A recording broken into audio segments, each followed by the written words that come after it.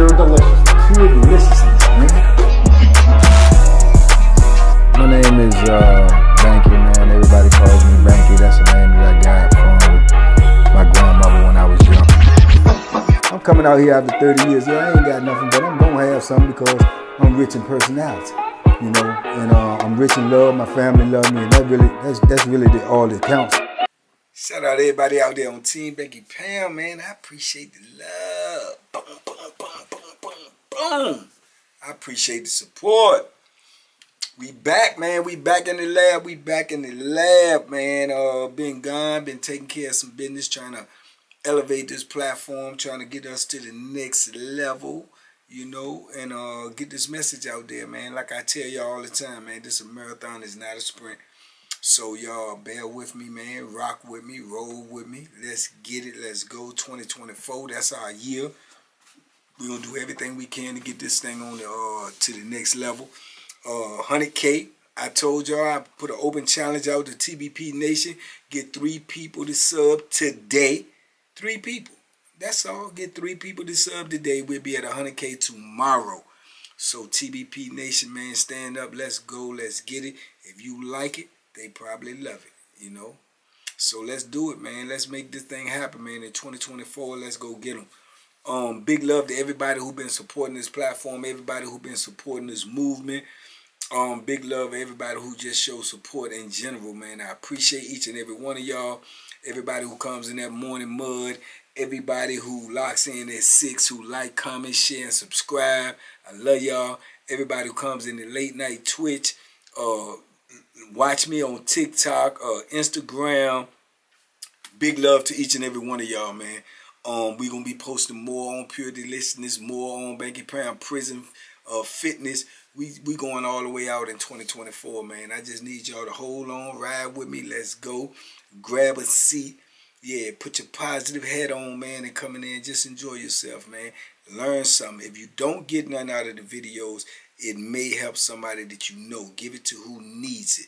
But um, make no mistake about it, there's always a message in it, man. And the message is that we want to stay free. We want to uh, raise healthy uh, kings and queens and let them go out here and reach their potential. And don't cut it short by making bad mistakes and bad decisions, man. So big love to everybody who out there who support me and support the movement. It's not me, it's us. TBP Nation, stand up, man. Salute. Uh, today, man, I wanted to talk about this, man. It just was on my mind, but I know since I've been out myself, um, three and a half years, it's like, uh, it's a new thing out here, man. It wasn't a thing before I went in, man. It was called, it's called scamming. Scamming. They got scammers out here, man. People who run a game, man, you know, we call it in there, it's that skullduggery, you know, it's that straight skullduggery. But people out here running scams, man, and little, you know, uh, trickeration and stuff like that to get you, separate you from your money, you from what you've earned, you for what you work for. Those type of people, man, the scammers, man. But they have them scammers in prison too. I know right, mm, I ain't gonna say right before I left, a couple of years ago before I did make parole, Man, it was a big thing in there, man. They had them dudes in there scamming, man. They was scamming, going crazy with this uh um income tax. You know, they was scamming with this income tax hard, man. And um I didn't understand it, you know, because I had been locked up so long, so I didn't understand what was going on until I got the gist of it and and, and, and you know did did a little knowledge to it. So what they was doing was you had a couple of dudes that was going around, man. They was asking dudes for their social security number right? Dudes was voluntarily giving them their social security number, you know, because the thing was they said if they get your social security number, they can file some income tax for you and get you some money back. You know, even though you ain't worked nowhere, you ain't been nowhere. So however the scam go on the other end, I'm not, you know, privy to. I don't understand it. But it was a fact that if you gave these dudes your social security number, they was telling you they gonna get you like two hundred dollars, right? And my celly, the one that I said the worst celly I ever had, he was doing it. Him and his peoples, you know, they was doing it. Um, it was another dude, a black dude, I can't think his name, but they was saying he was doing it all over. Everywhere he went, every compound he do, that was his hustle. That's how he got on. He'd get that and, and get dude's social security number. He had somebody on the street that he was working with. They'd wait a little while, man, and they'd get this money. So dudes was paying these dudes, man, you know, off the rip, $100, $50 or something like that. So in your mind, you're thinking, I get him $50, I get him $100 or whatever, he gonna give me, you know, all of this income tax money to come back to go on my books. But they was taking money in commissary, you know, so you might have $100, you might have $50 in commissary, but you may not have had that money on the books. You might be a penitentiary hustler. You might know how to go out there and run a poker game, do this, do that. Some dudes were saying they get you 400. It depends on, you know what I'm saying, whatever whatever they had going on, it was either 400 or 200 they could get you. And it depends on your circumstances or whatever. But they were saying like I get you 200 then and, six months later I get you 200 more. So in essence you was getting 400. Or they'll say I get you 400 then 400 later. It depends on how much you paid them. If you gave them 50, you can get the uh, the 200 package. Two times, that's $400. If you gave them 100, you get the 400 package two times, that's $800. So you got to put it in perspective. You got to look at it like a dude in prison. He ain't got that much money. $400 in prison is a lot of money. I'm telling you that right now. That's a lot of money. And $800 is even a lot more money. So dudes was taking that deal. Especially you got dudes that had, you know, long sentences, 20 years, 30 years, life sentences or whatever. Okay. So this is the scam that they was running. Whoever they had working with them on the outside, whatever type of information they put in, it was working. You know, and dude was moving around, they was doing, and they came to the point that black dude, they knew he was doing it, but they couldn't do nothing to him. He had life sentence. They, what can they do to him? You know, he is really fraud or whatever you want to call it. That's what he was doing, and that's how he made his money. He always was eating in there because people always had him there. The, the, the problem come in like if whoever they working with on the street don't send that money, and then this dude gave this money, and then you obligated to get him this, that, and third, you're not gonna be able to get that money back. If he gave you fifty dollars, hundred dollars, and supposed to get this, you can't say, "Oh man, the people ain't doing it, so, huh? I your hundred back." Nah, cause he gonna feel like you took his money used it. You you was down out on your luck. Then you got in better times, and then you trying to get his money back, but he ain't make nothing. That's where the violence gonna come in. That's where you gonna get bust up at, and that's probably, that's that's what ended up happening to him. He did it to somebody, and then whatever was going on, he got towed off, or he couldn't get that money, and dudes was down on him. He had like 12, 13 dudes in the block that was like, "Where my money at? Where my money at?" And he he running around trying to duck it, man. My people on the street, they got it, man. Woo, woo, these dudes and waited patiently, you know, 30 days, 60 days, whatever it may be. They had something called, uh, man, what was that Jim called? Uh, rap, rapid refund or something, like telling them, some dudes here tell you you to get your money in, in, in 30, 40 days, right?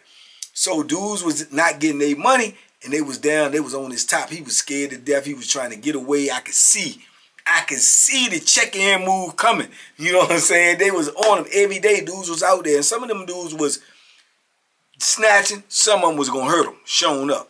He knew it. Right? So he goes outside one day. This after depression done been on him for about a week or two. He done got away for a long time. The only reason he ain't got hurt so far, because dudes wanted that money.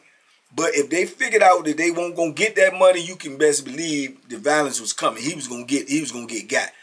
So he get to arguing with another dude. He was a scary dude. This, this black dude, I'm telling you, he was scary, little short, chubby dude. He was scary. He ain't had no fight in him. He just had con in him. He had that skullduggery, that larceny. He knew how to get some money. So he goes outside when they get to argue with this other dude that's just as scary, you know, and uh So we on the way back in the building and we going back to the cell and they argue, they argue. So he know the police right there. He pop off on the dude, try to fight the dude because he wanted to go to jail because he knew that heat was coming. So he fight the dude. He swing on the dude. The dude swing back. They get to fight. Man, you could have put this fight on America's Funniest Videos. They neither one of them know how to fight. One of them scared. The other one glad of it. They, you know, swing. Eh, man, it just it was it was hysterical. And dudes was ready to jump in it too, but by now, the people done seen it, they done draw the guns down on us, telling us to get on the ground or whatever. But other dudes was ready to run, jump on them and hurt them because they know you trying to get away and they don't want you to get away without feeling that pain.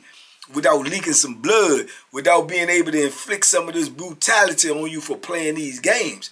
And um, he ended up getting away, man, because the fight that they them two jokers had, that was like, you know, some kid stuff. You know, but both of them get took out there handcuffs, this, that, and the third. I don't know. He might have set it up.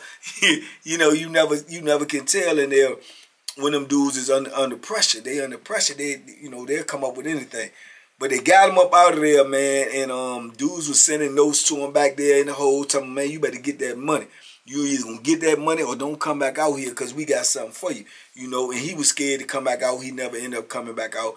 He went to another camp. I remember when I ended up getting transferred, I was hearing about him, his name ringing all over the, every institution because this is what he do on every institution. He run this scam. I can get you some money. Now you got to understand, out here on the street, dudes is looking at the importance of a social security. No, you don't want to mess your credit up. You don't want to have this on your name. You don't want to get charged with fraud, this, that, and the third. But what y'all don't understand, if you locked up and no money comes to you directly in your name for uh, filing income tax, they can't do nothing to you. Your excuse is secure. Your alibi is locked in. Man, I'm locked up. How could I file income tax? And why would you send it to me knowing I'm locked up and knowing I ain't work nowhere? So, and there's nothing on the records that shows that I got a, a income tax check that they had to, you know, put it on my books. It, they, they, they, they clear. You know what I'm saying? They super clear. So the the, the, the con in there was was was was a uh, major man because the way they ran it to you was like you can't get in trouble. Your credit can't get messed up. Even if you getting out, it, it, you know, you could go to the people and say, I was locked up. I ain't never filed income tax, blah, blah, blah, blah. So that's what the con was, and that's how he was selling it. And dudes was buying it. Now, me being a paranoid joker that I am, I ain't want no parts of it. It just ain't sound right to me. You know what I'm saying? And then dudes don't really pull up on me with that type of foolishness. My my Bama celly ended up asking me, telling me it was legit because he was doing the same thing. He was doing the same thing. He was doing it with his mama. You know what I'm saying? So obviously they lost and they running in the family. But I ain't want no it, so I ain't never do it myself. But dudes was doing it, man, because like I say, it was an opportunity that they couldn't miss. Now every part that this Joker went in, the black dude and my the part the, the, the economy in the part just went up because now everybody was doing it so everybody had money. So the commissary was flowing good dudes gambling against each other all the poker tables filled up because everybody got money everybody got a couple of hundred dollars. I'm telling y'all a couple of hundred dollars goes a long way in prison. So everybody got money you know everybody buying this somebody can come up with some weed everybody they're gonna sell out. Everything was going on it, it was just jumping during this time where when dude come in the block because he he going around, look, man, you know, yeah, yeah, with income tax money, man, y'all trying to get this, man, just give me your social security number, woo, woo. The whole thing that people weren't looking at was the, the, the bigger picture. If you were getting out, even if you couldn't be held liable, you it would still hold you up. It would still, you know, mess you up. Then also when you did get out and you start working or doing whatever and you you you straight legit or whatever, these people still have your social security number. These people still filing your taxes and getting all of the money now in your name. And they won't recognizing that once you gave it to them, even if they did that and gave you the money twice, 200 now, 200 a couple of months later, then that's it. They still have it. They're to be doing it next year, the year after that, the year, and you're not even to be around So they're to continue to get money in your name. This is what the con was. This is what the whole scam was. But dudes weren't thinking of that. They was thinking about the moment. They was thinking about what they need. They was thinking about they ain't had no money on their books. They ain't had no support from the street. They ain't had nobody doing nothing for them. And dudes was biting, man. They was eating it up. You know what I'm saying? They was eating it up. Like I said, the only problem came in was when them people couldn't produce that money. When they didn't produce that money for whatever reason, then it was a problem because dude them paid you up front. That's how prison is. Dudes want the money. Money on the wood make the gambling good. You know, money out of sight cause a fight.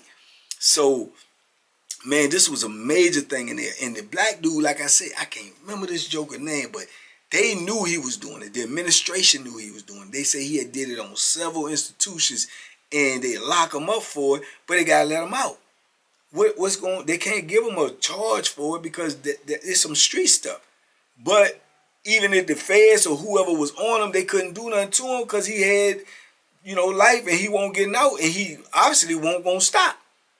Their better pursuit was to try to pursue whoever was doing it for him on the street and catch them.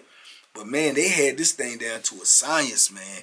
And um, dudes was just eating it up, man. They was getting all this money and swear to God they was doing something, but it was only temporary. It only lasts for a couple of months, and then you broke again. But not realizing these dudes gonna be using your social security number for the rest of your life. You know what I'm saying? But this is the type of con and schemes that be going on in prison, man. I'm telling y'all, man, these dudes in there, they intricate. They on it. They on it.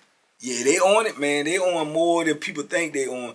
These guys got nothing to do but sit in there and think. You have some very, very intelligent dudes in there. You got some dudes in there that's, that, you know, they think beyond outside the box, man. They gonna find a way to get some money no matter where they at, no matter what the conditions is, no matter what's going on.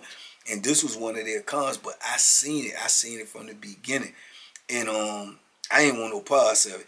And I was always taught when I was young, man, you can't let nobody get your social security number. Don't get nobody in because they could do so much with it.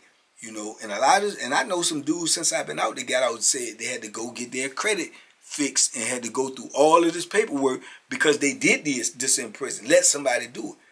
But the money that was put on your books gonna be put on your books from somebody that whoever you you paid to do this to, they just gonna send you a money order. It ain't it ain't like it come from the government. It ain't like it's saying it's an income tax check. It ain't none of that. So there's no proof that you did anything wrong. You know? And then you had some dudes in there, man, man, listen, these dudes was paying people that work in the office or in the administration to get dudes social security number. And they was doing it without you even knowing it.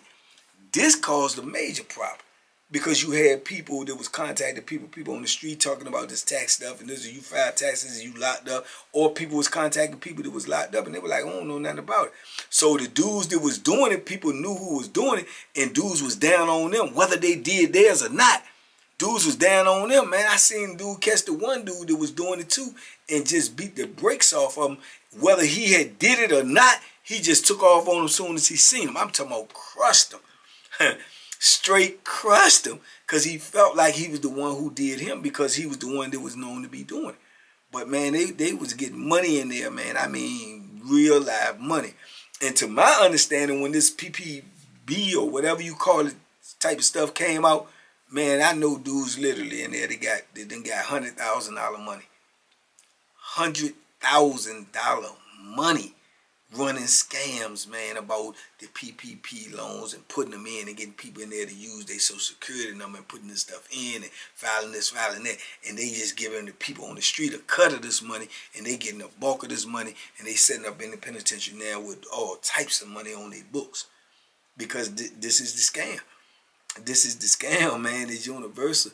A lot of things that go on on the street, people going to get hip to in the penitentiary and they going to be able to find a loophole and alter it and get in where they fit in. And, and, and this goes on in there all the time. And money is a, is, is a major component of violence in there. If you owe somebody a dime in there, you better pay them. You better pay them, man, because the, the, the, the key is you can't let nobody take nothing from you. So if you let somebody take a dime from you, man, it's punishable by violence. You cannot let it happen.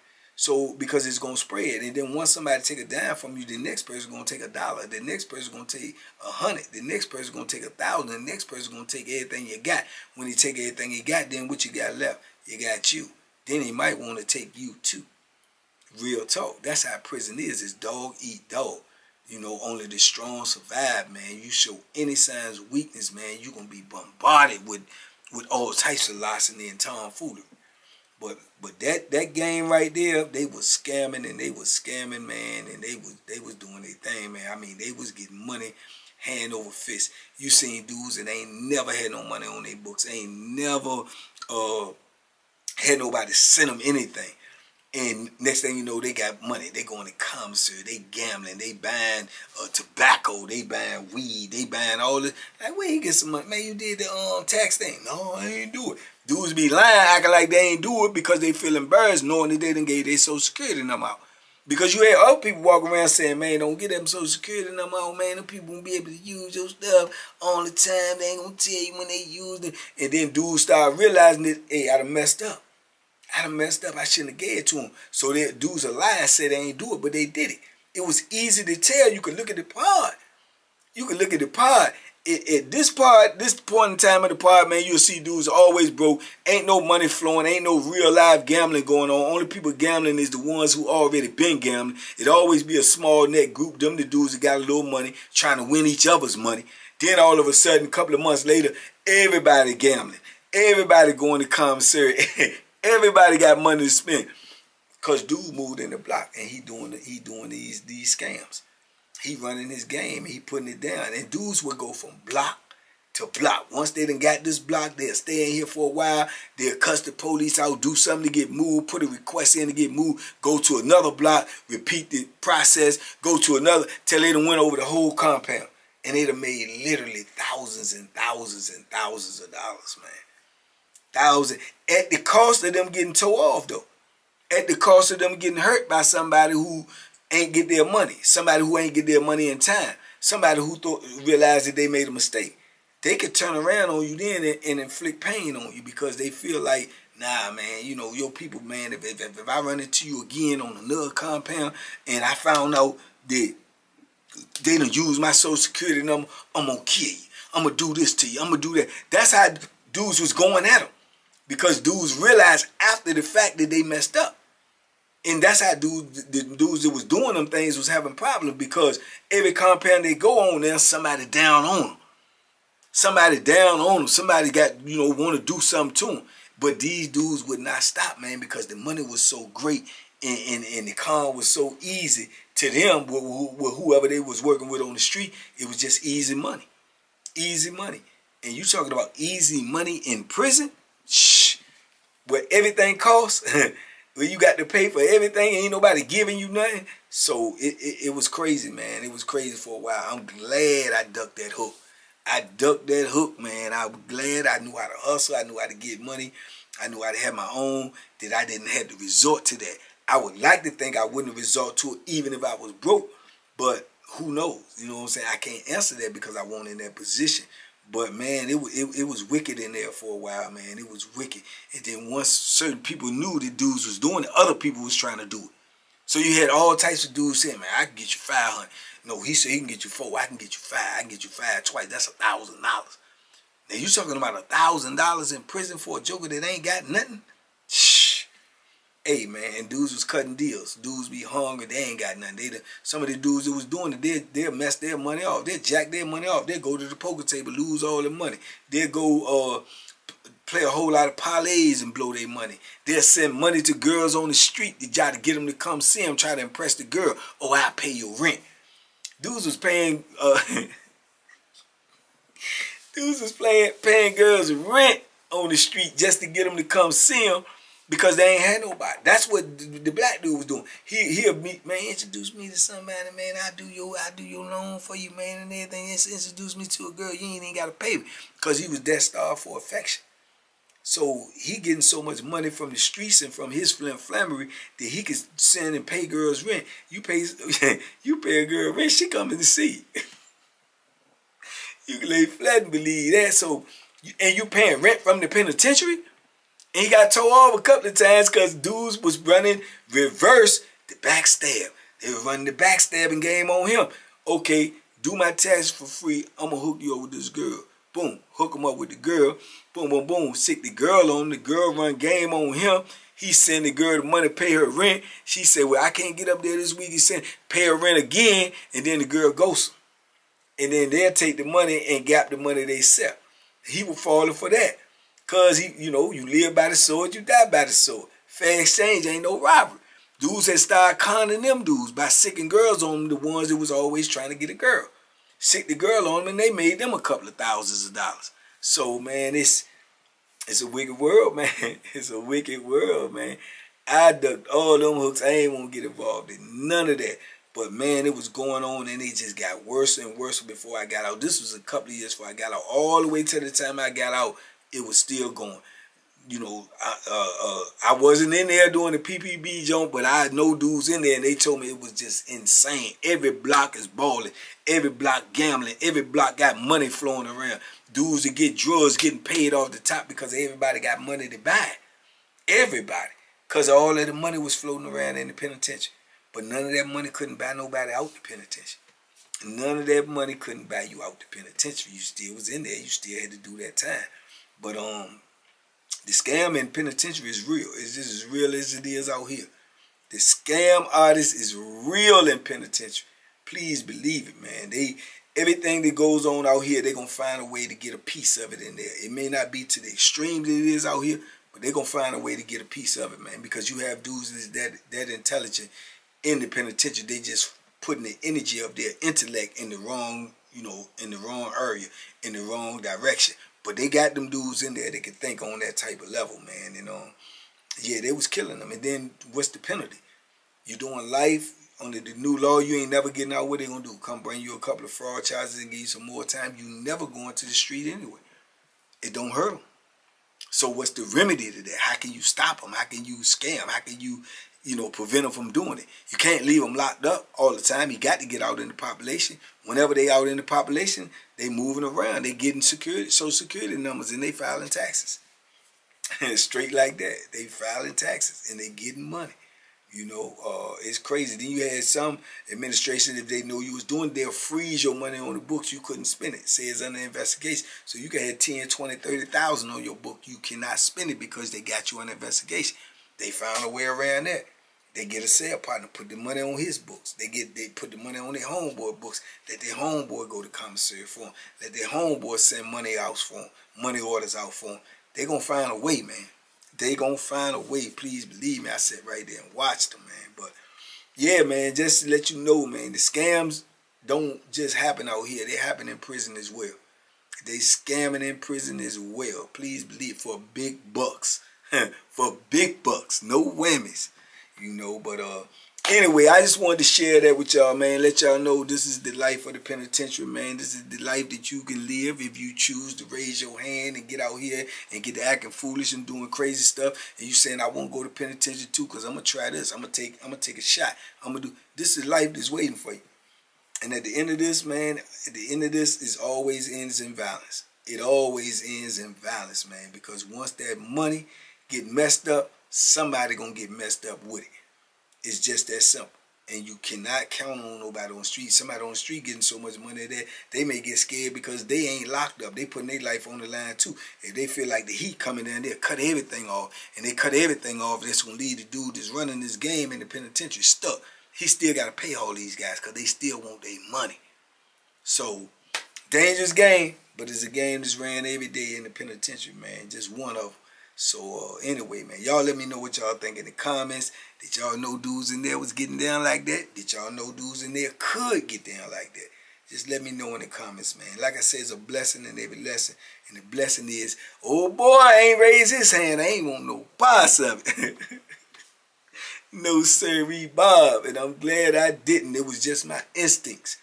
Just my instincts. Yeah, the only thing that kept me safe, man. It won't know nothing special. Nothing crazy. It was just my instincts that told me this ain't going to end well. So, you know, blessings for that, man. But anyway, man, y'all talk to me in the comments. I talk back. TBP Nation, we on the rise in 2024, man. Let's go. Let's get it. Three subscribers, man. I challenge each and every one of y'all, man, that uh is subscribed to go get three more, man. Let's get over that 100K, man. Let's get to it. Let's get to it in 2024. Big love, TBP Nation. Y'all be safe out there. Be smart. Make good decisions, man. And boom, boom, boom, boom, boom, boom. Duck them hooks, man. They scamming everywhere, even in the penitentiary.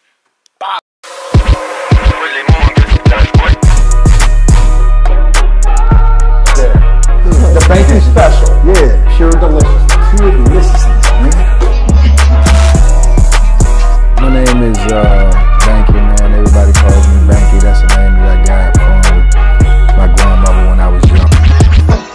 coming out here after 30 years. Yeah, I ain't got nothing, but I'm gonna have something because I'm rich in personality.